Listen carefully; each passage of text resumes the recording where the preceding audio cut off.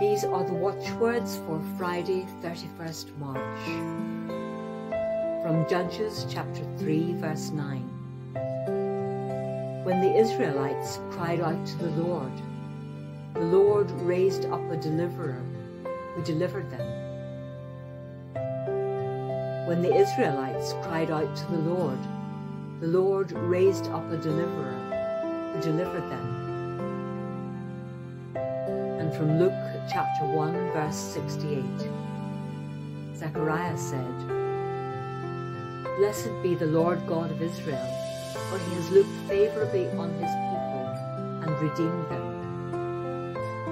Zechariah said, Blessed be the Lord God of Israel, for he has looked favorably on his people and redeemed them.